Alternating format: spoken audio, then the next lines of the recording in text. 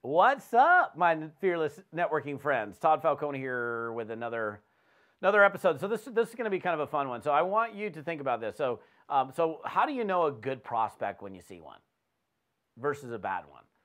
Well, I don't know. I mean, can you can you really tell? You know, the, the truth is, you know, you you can't you can't you can't. Uh, I mean, I think to some extent you can you can look at somebody and go. I mean, I don't I don't I don't want to be mean here, but uh, you know, if, if there's somebody who looks like they've been, you know, sucking down meth every day and they're, you know, on the side of the street saying, hey, uh, we'll work for meth, uh, it's probably not somebody that I'm going to be like running to, to go, you know, talk to about my business and, and, you know, hopefully they'll get some help and get off the streets or whatever. But uh, so from that standpoint, I think we can look at somebody uh, and, and, and, and we can, have some idea whether they're a decent prospect or not if we if we go to, to that extreme. But there's like people that you're, you're going to look at that you you know you, you don't know. I mean, nobody would have ever necessarily said, "Hey, you know, this guy from Long Beach State is going to be a great candidate for network marketing." Like I've been doing this for a long long time and somebody gave me a chance. Somebody somebody reached out to me and actually they didn't know anything about me other than the fact that I mean, I, you know, I was, some of you guys don't know this, but the way I got started in network marketing was I had a guy that found me on a list of graduates. So, so there was a, there was literally a list of names at Long Beach State on people that were graduating from the marketing department.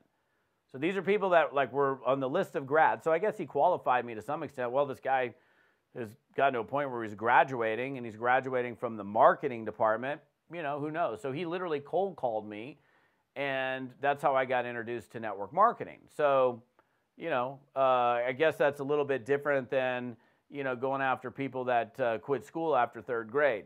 You know, so maybe there's greater odds of me winning potentially if I you know went past the third grade. I don't know. Uh, so this is kind of an interesting exercise that I want to I want to give you. So if you were to describe your ideal candidate, your perfect person, what what would you say about that person? Like, this is something like when we look at like a lot of companies will do this. Uh, lots of companies will do this. They'll, they'll they'll define their avatar. Their avatar is their you know that that uh, that perfect candidate. Like your who's your who's your like who is your ideal candidate? Who's your best customer? Like, how would you describe that person? What do they do? What are their interests? What do they read? Where do they hang out? What, um, you know, what books, what magazines do they subscribe to? What websites do they visit? What do they do on the weekends? Now, again, that's going to vary greatly, of course. But what would be very interesting for you to do, and if you've never done this, this is this is this is a great exercise you, if we started defining like okay if like and we're talking about your next superstar leader in your network marketing business how would you describe them like what words would you use to describe them um, nasty negative skeptical uh, pessimistic uh, lazy what else uh, i don't know Probably none of those, right? We wouldn't, we, wouldn't, we wouldn't describe that person using any of those words, would we?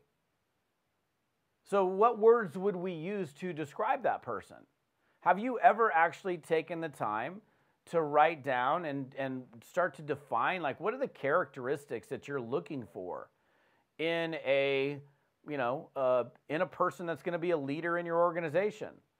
So I guess one of the characteristics, even though this guy I'm sure never did it with me, was uh, finishes what he starts. Like at least, I mean, I finished college. I graduated from college.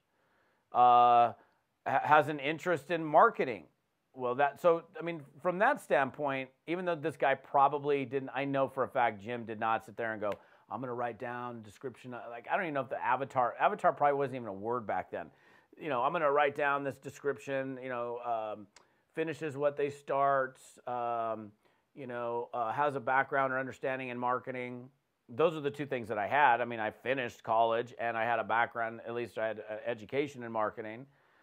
But if we went deeper than that, if we actually took the time to write it down, what, what would you write down? Like when I, I like, and I'm not going to give you all the words. I think this would be a really good exercise for you to to do on your own. But I would write words down like, I don't know, um, outgoing, fun, funny, hardworking, honest, ethical, uh, money motivated. Uh, you know, I don't know, coachable. Like you, you've got to come up with those words. That's your job. But if you've never done this, because if you've never done this, then maybe today would be the day.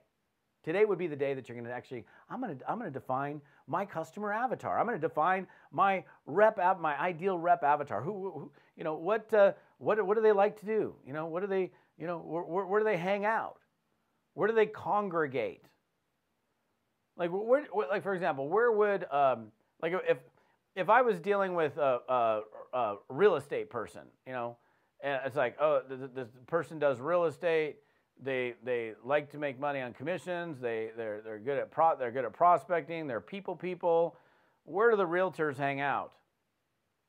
If I wanted to like you know think about okay, where can I go find these people? Well, well those realtors probably attend real estate investment education courses. They uh, you know they're in, they're involved in you know, they're probably involved in, in the community to get out. You know, maybe they're involved in, I don't know, the Soroptimist, or they're involved in the Chamber of Commerce, or they're so this is these are places that they might congregate because they're like committed to growing their business. So you can not only what you can do through this exercise, which is interesting, is you can get greater clarity on what you're looking for. So then when that person appears in your life, oh, that person has the exact quality or some of the qualities that I'm looking for in that ideal person. You'll know it. Like, think about it. Like, if we put down um, super outgoing, and then you meet somebody who's just like super outgoing, you're thinking, oh, that that that matches exactly like one of the key character traits of somebody that I'm looking to put into my business. It's gonna like bing. Like versus the person who comes into the party and they go hide in the corner and they're sipping their little beverage and their their eyes are down and they don't want to talk to anybody. That's that's not the outgoing person. Not that that person couldn't succeed in network marketing.